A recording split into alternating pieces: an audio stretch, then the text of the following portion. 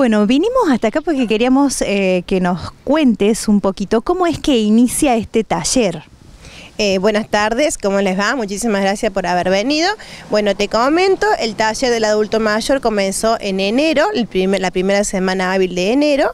Eh, comenzó con desde el proyecto desde el PAMI de Colonia de Verano y funcionó enero y febrero este, muy bien, gracias a Dios, con actividades dentro de la pileta municipal. El recurso era el agua y actividades, o sea, yo me encuentro, empecé con, te digo sinceramente, con tres alumnos el primer día y bueno, se fueron sumando y me encuentro con, muchísimas personas con distintas, este, distintas patologías de acuerdo físicas, ¿no es cierto? Físicas y emocionales. Entonces, bueno, proyecté, te comento que yo vengo trabajando hace ocho años para el adulto mayor, desde la provincia donde yo estaba, en, en Nicho Cruz, allá en la sierra.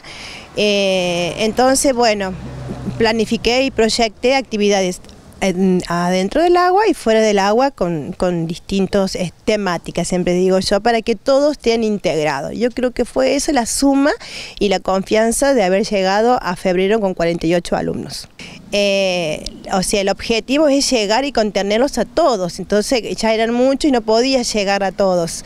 Eh, entonces, bueno, aprueban otro profe más que se integre. Entonces, en este momento el taller cuenta con dos profes donde ahí planificamos actividades recreativas dentro de la danza, la actividad física y eh, bueno, entonces también lo hacemos mucho más rico, ¿no es cierto? ¿Hay tiempo para que se integre más gente o ya están superados los cupos? Y por ahora sí, yo diría que sí, te digo, por cada clase van empezando tres o cuatro más.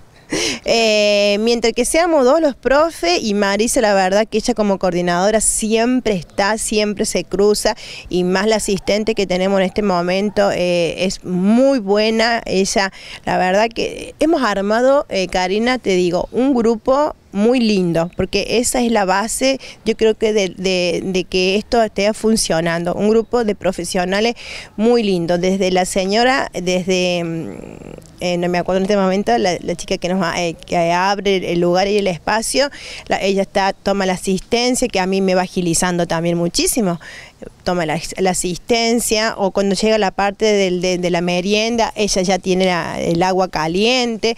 La verdad que se armó un lindo, un hermoso equipo. Así que sí, yo creo que sí, y inclusive ahora estamos en el, eh, si hay más gente, de incorporar otro día más porque tampoco no es bueno que nos superen el alumnado los profes porque se pierde la calidad de lo que uno quiere transmitir y llegar hacia ellos tengo abuelitos muy grandes con muchísimas dificultades que es de, o sea, hay que ayudarlos a levantarse, sentarse. Eh, te comento, la dinámica de la primera parte de la clase, la primera hora de 3 a 4, es todo de sentados para los que se quieren sumar. O sea, que me dicen, oh, yo tengo artrosis, problema en la cadera, la rodilla, eh, el transporte, eh, em, las van y los buscan, los ayudamos a bajar, llegan hacia el lugar, ya están todas las sillas ubicadas, toman la actividad y la que no quiere seguir la segunda, la segunda hora, que ya es una actividad de pie con movimientos más amplios, va a otro extremo con, con, la, con la otra chica que está en, este momento, que no me acuerdo el nombre, y eh, siempre llega también Marisa y van haciendo otras actividades manuales, casi siempre son todas actividades manuales, o salimos a caminar. Perfecto. Días y horarios en donde los pueden encontrar lunes y miércoles de 15 a 17 horas. Perfecto, así que a llegarse. Al llegarse y lo más importante, eh, bueno, que se conecten con Marisa Bilibio, que es la coordinadora de la área, con Gastón Astrada, que es mi hijo, o conmigo, porque por el tema del transporte porque la verdad yo creo que el éxito, el éxito de, este, de este taller para el adulto mayor es muy importante el transporte, porque ellos llegan a esta edad y a veces tienen que depender de que los lleven y los vayan a buscar.